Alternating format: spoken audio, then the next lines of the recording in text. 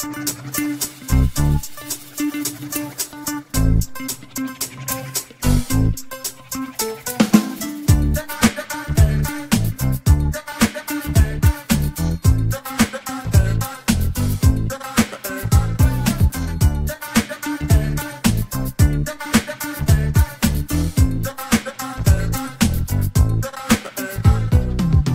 yếu là cắt ờ, các cái mẫu tóc của chủ tịch à, chủ tịch à, Kim Jong Un là chính.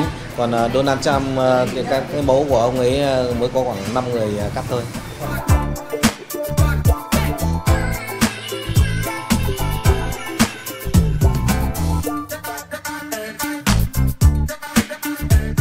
Giác thì khi mà quyết định cắt tóc theo ông Trump thì em cũng, đã suy nghĩ rồi.